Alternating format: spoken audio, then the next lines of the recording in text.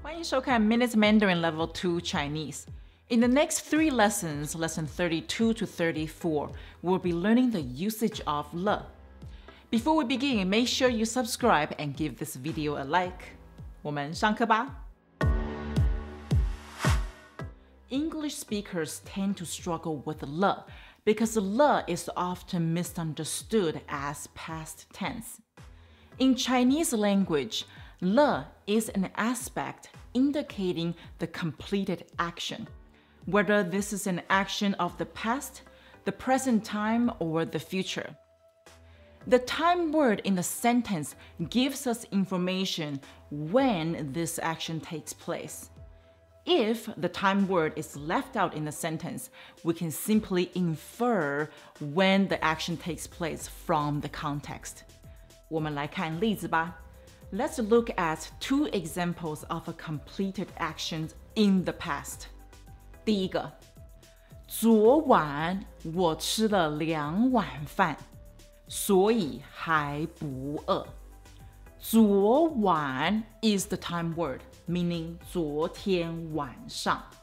昨晚，昨天晚上，我 I 吃了，吃 is the verb 了 completed action， 两碗饭 two bowls of rice，所以 therefore 还不饿，还 yet not yet 不饿 not hungry。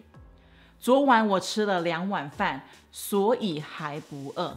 Yesterday night I had two bowls of rice, so not hungry yet. 第二个例子是。我刚给他打了电话。我 刚 just a moment ago. The here is the time word. 给他 to him 打了打 is the verb 了 aspect of a completed action. 电话 telephone.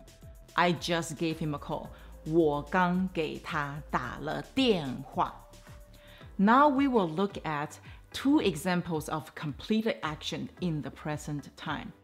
When this sentence pattern le is used in the present time, it's usually describing a habit or a routine of completing the first action and then carrying out the second, the next action.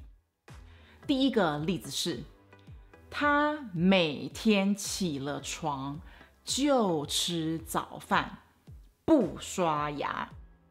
他 he or she 每天 every day. This tells us it's a routine. It occurs every single day.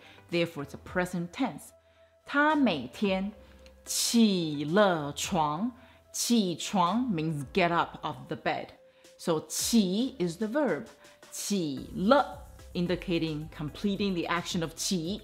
起了床就 then 吃早饭，eat breakfast。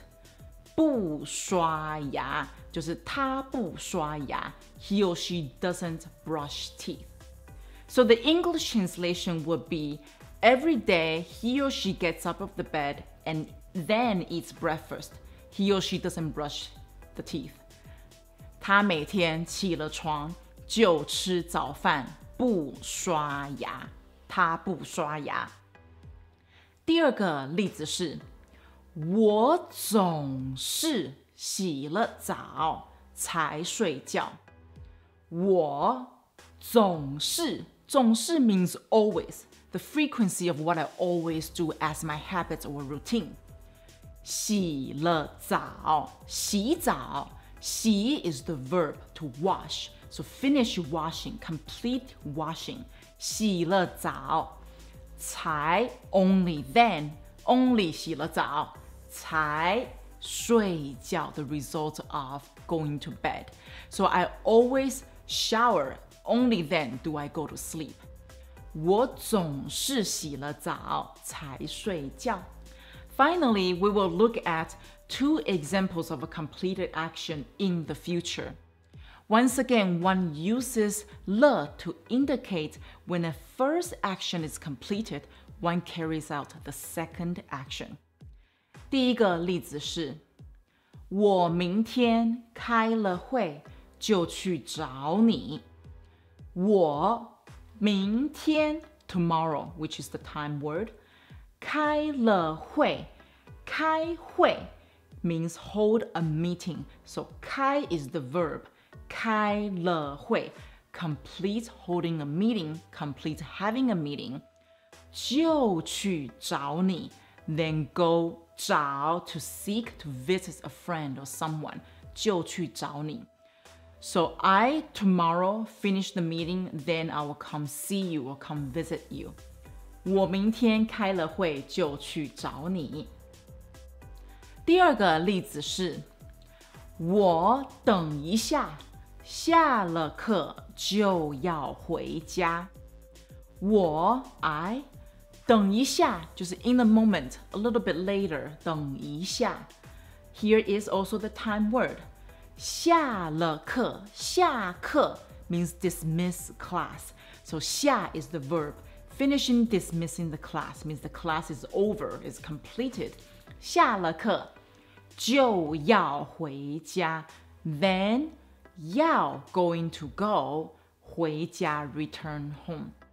So English will be I'm going home after the class is over. 我等一下，下了课。就要回家. We can also look at the English like this. I later 我等一下下了课 complete dismissing the class, complete the class 就要回家 then going home. As you can see from the examples, regardless of the time, le is used to indicate an action is completed, whether it's in the future or in the present time or in the past. Be sure you subscribe to this channel and then like my video to support my channel and support Peggy Teaches Chinese. 我们下次见。